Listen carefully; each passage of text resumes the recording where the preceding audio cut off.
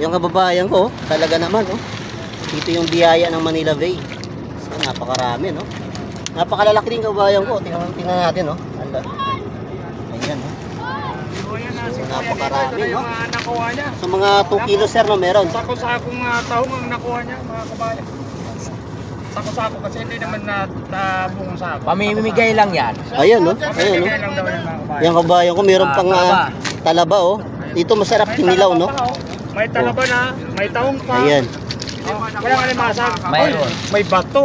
Oh, may alimasag nga, oh. Di ba, limango Ay, oh. may alimasag, oh. Alimango Mga boss, alimango, ayun oh. Oh, ano, alimango. Ayan. Oh. Ulam na yan. Prito to pre, kasi yung laki nito pre, piniprito to. Oh, piniprito ba yan? Oh. Ah, sarap yan yung crispy. Pupunta ka sa Tagaytay, may Ay, makakatingin ka yun nito. yung pinunta natin, di ba? Oh. Meron pang black gold kababayan ko, oh. Oo, naku, Uy, may- yan. Black black ano, gold, ah. black gold. Oo nga, mga kabayan. Swerte talaga ng ating mahal ano, yan, no? mahal yan. Ibenta natin to. Oh, mahal yan pag Mahal binato yan. mo. Mahal yan. Ako, Dali natin sa junk shop ano, to. Ah, junk pag shop, tumama food yan shop. sa ano, Pag tumama yan sa ano talaga. Ayan kabayan. Dahil ikaw na nakuha ni Kuya dito. So yung bayan ko, nandito ulit tayo sa, ano, sa bahaging ito ng Manila Bay at makikita natin ano, napakarami nung ah, mga kabayan dito na nangunguha ng tahong at ayun nga, napakarami at ah, ito oh, so dinudumbog nila yung area dahil nga yan oh, at ah, ilang araw na lang eh mawawala na itong ah, bahaging ito dahil nga matatambakan ng buhangin so ayan si sir oh, may, ang dami oh halos isang plastic no napakaraming dala ni sir chika natin napakarami no napakaraming dala oh Ayan. So ito yung mga nakuha dito no sa bahaging ito ng Manila Bay. Grabe oh. Mga limang kilo. Dami lalaki ah. Yan kabayan ko oh. Ang lalaki ng uh, tahong na nakuha.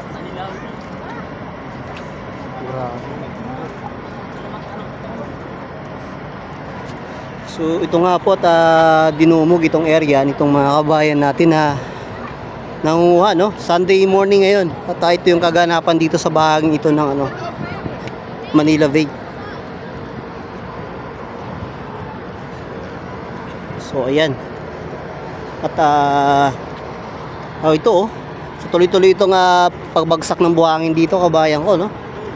So mga ilang araw lang eh maglalaho na tong area na to. Dahil nga sa patuloy na reclamation dito sa area no? So sinamantala ng mga kabayan natin itong pangunguha ng taong dito no? Dahil napakababaw ng ah, libil nitong ah, dagat. So ayan. Punta nga tayo dito sa area na to so yung iba nagdala pa ng ano no ng mga trapal nila dito para may masilungan. So ayan kabayan ko niluluto na nila itong mga nakuha nila dito nga mga ano no, mga tahong. So medyo napakalalaki. Napakalalaki po nung nakuha nilang mga tahong dito.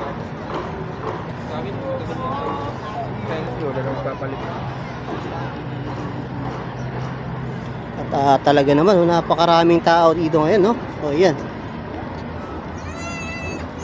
Dinumog, no? Dinumog ditong mga kababayan natin, no?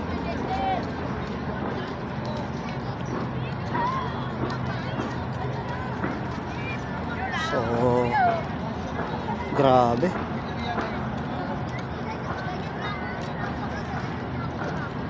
May mga bata pang kasama, kabayan ko. oh. Nangunguha ng taong. So, ayan, halos ah mapuno na itong ano, no? Mga lalagyan nila, oh. Napakaraming tahong. So, ayan, oh. Niluluto ng lakabayan ko, oh. Napakalalaking tahong, no?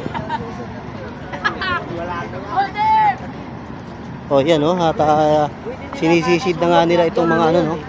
Mga tahong dito. Yung iba, iniihaw.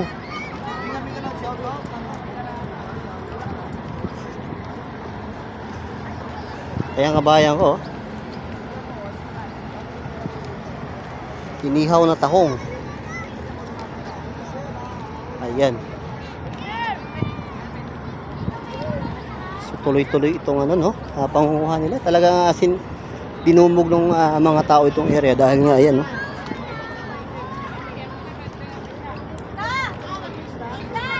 Matatambakan na itong ah, lugar na ito. So Mga ilang linggo lang, no? Ilang linggo lang, eh, malalagyan na ng buhangin itong area na to, no? So, kanya-kanya na silang ah, luto dito. Napakalalaki pala ng taong dito, kabayan ko, no? Diba, iniihaw, ayan. So, medyo marami na yung nakuha ni Sir, oh. Oh, yung ah, meron siyang ano, floater.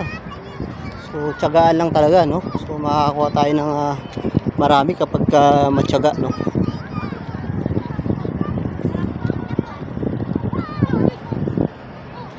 So, yun ang kabayan ko. oh. So, kanya-kanya na ng ah, diskarte ito mga kabayan natin dito para makakuha ng tahong.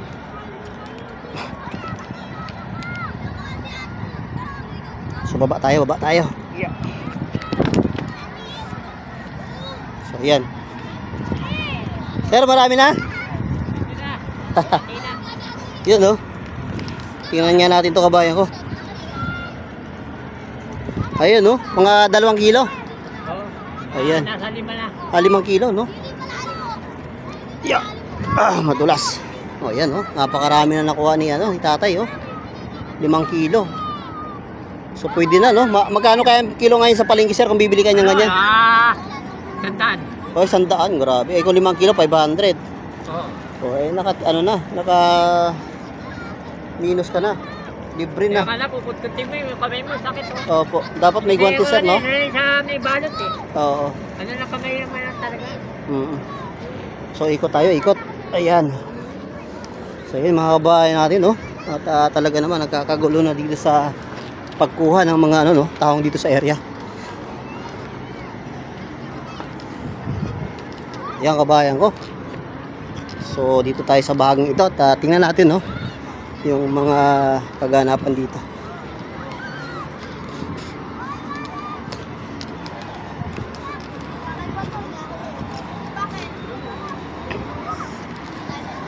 Hoy!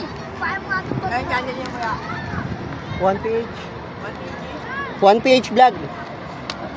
Ayan, yung kabayan ko, oh, na talagang ah, dinumog, oh, dinumog itong area, no?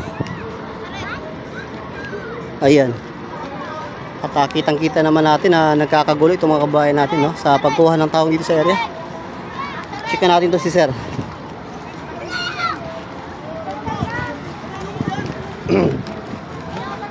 lapit tayo, lapit.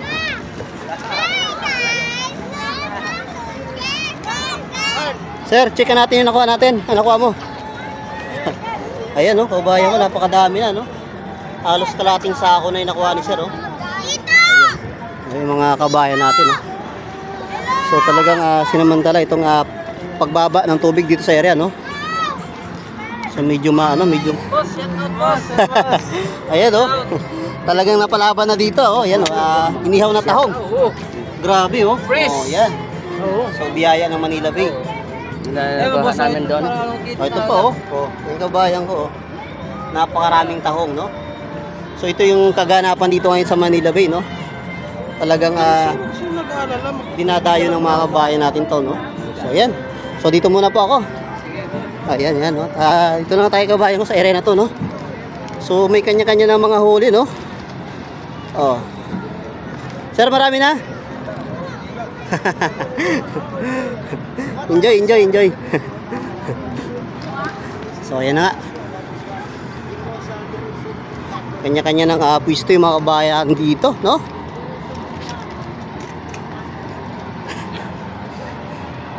o ito, oh. Napakarami, oh. Ha? Pacheck nga ako nung niluluto mo, kuya. Tingnan na nga natin yung ginagawa mo dito. Ayan, oh. Wow! Ah, malapit na maluto, eh, no? Oh. Habit na. Oh, yan. Ano ano sahog niyan? Wala. Asin lang tsaka ano. Okay na, oh. Yun, ang galing, no? Tubig lang. Luto na yung ano nila. Niluluto na na yung tahong. oh, ito. Mga ilang kilo to, sir? Mga tatlo, apat. Oh, dami, oh. Tingnan nyo naman, oh. Libreng-libre. Sabi ni sir, isang daan ng kilo sa palengke. So, ngayon, apat na kilo, no? O di 400 pesos. So, nakatipid na sila ng 400. Oh, tingnan nyo naman, no? Libre lang dito sa ano sa Manila Bay na makukuha. So ayan, dito tayo sa area na to. Oh. kaganapan dito sa area. Ayun kabayan ko at ah, ito nga no at ah, di nagsanang tao itong Manila Bay ngayong umaga dahil ayan no makikita natin itong ah, barko na no ng ah, China na nagtatambak dito sa area itong dredging vessel no so andun pa yung mga kabayan natin na ayan no na, mga nagluluto yan ang mga nakuha nilang tahong dito sa area no. Dahil ah, napakarami at ah, dagsa yung tahong dito sa area kabayan ko no. So ito yung mga ano dito pagganapan niya yung araw dito sa Manila Bay. Grabe no tayo nga. Yung nakita natin kanina halos kalahating sako na no yung ah, nakuha ng mag- isang pamilya no. Grabe kung ah, suma total yung mga nakuha nila dito so mga tatlong sako no? Kung ah, pagsasama-samahin. So ganun pala talaga kayaman itong Manila Bay sa tahong no? So kailangan lang siguro dito ano pangalagaan no? Yung ah, hindi dito no? Sa ibang part. Sa ibang part na hindi pa i-develop. Pwede silang maglagay dyan ng mga pakapitan ng tahong.